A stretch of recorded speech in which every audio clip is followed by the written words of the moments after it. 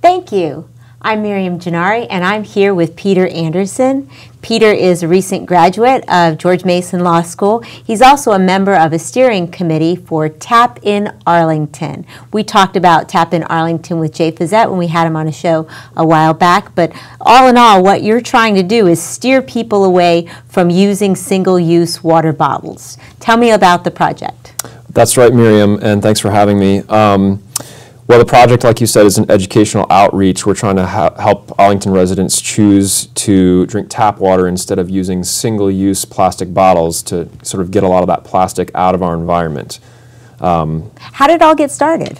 Um, well, about a year ago, as you mentioned, County Board Member Jay Fisette gathered a group of people to watch a film called Bag It, um, which talks about the destructive impact of plastic bags and plastic bottles on the environment these folks were inspired to start the educational outreach, and uh, I was sympathetic to the cause, so I got involved. Well, I'm so glad that they recruited you. You're here today to share with us some statistics that might sway viewers into rethinking their use of plastic water bottles.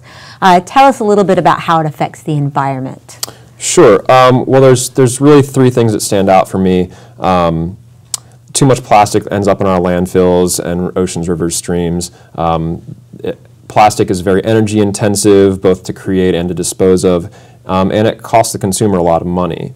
Um, so let me, I can tell you, start with the cleanup problem. Yeah, let's start with the harmful effects. Sure. So what happens after um, you use an individual plastic water bottle? Um, first, um, almost 1,500 plastic water bottles are used every second in the United States. This adds up to almost 50 billion used per year. Um, Yet 69% of these plastic bottles are not even recycled. So where do they end up? They end up in landfills. Um, also in rivers, streams, oceans. Go ahead. Go um, I'm sorry. Uh, that's no problem. That plastic that ends up in, in landfills and in, um, in our parks takes almost 450 years to break down. So do we really want these chemicals leaching into our water and soil? All right, now let's talk a little bit about the energy that, that goes into making water bottles? Sure. Um, before you use that plastic bottle, um, it takes almost 2,000 times as much energy to produce bottled water as it takes to produce an equal amount of tap water. Um, production and transport of plastic bottles in the U.S. market consumes more than 30 million barrels of oil per year and produces as much carbon dioxide as 2 million cars on the road. All right. Well, I know that some people are concerned about the environment, other about others about energy use, but a lot of people are concerned about how it affects their wallet. So, give me some of those numbers. Sure. Well, that speaks to me as a young person. So. Um, tap water in Arlington costs the individual consumer less than one cent per gallon when you look at your water bill. Um, whereas, uh, by contrast, buying individual bottled water costs a thousand times as much as uh, drinking tap water. To put things in perspective, single-use bottles of water cost roughly twice as much as gasoline. Wow, that is really going to affect the pocketbook one day. All right, so um, as you're out talking to people, I hear, I'm sure there's go there's going to be questions and concerns. What are some of the biggest concerns people raise? Sure. Um, the first thing people say to me is safety. Can I drink the tap water? Is it safe? Um, I respond yes. Um, Arlington County tap water meets or exceeds the federal Safe Drinking Water Act standards, the Virginia Department, Department of Health standards, and we know this because the county tests the water up to 65,000 times per year. Wow, highly invested in our water. Absolutely. Okay. Um, another excuse people give is taste. They say they prefer the taste of bottled water to tap water. Um, but studies have shown only about one third of folks can detect a difference in taste between bottle and tap. Um, and other blind taste tests have shown that um, over half the people prefer the taste of tap water anyway. Isn't that amazing?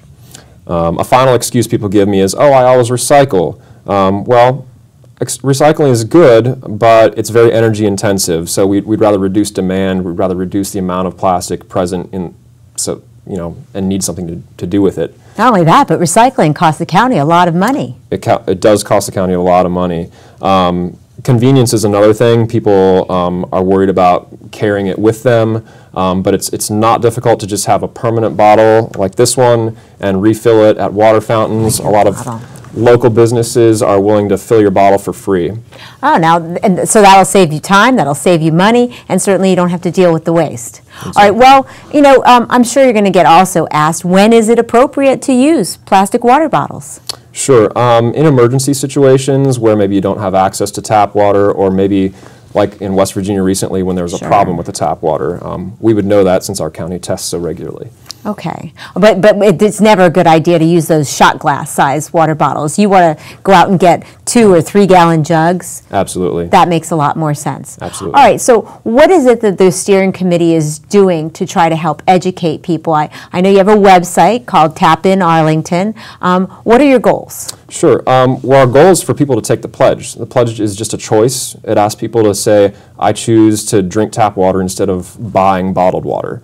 Um, and that's available on our website, um, www.tapinarlington.com. If you use .org, it'll redirect. Um, and so our goal is to have 10,000 Arlingtonians sign the pledge, And 10,000 would represent what percentage of our population here in Arlington? roughly 5%.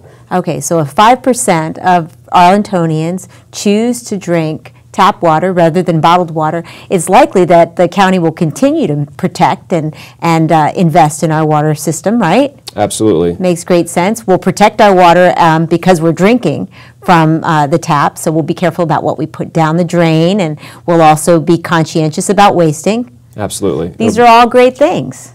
It's a more sustainable practice. And that's what we want. And I'm just thrilled that citizens have gotten together to, uh, to build this coalition. I hope that you reach your 10,000 and exceed it.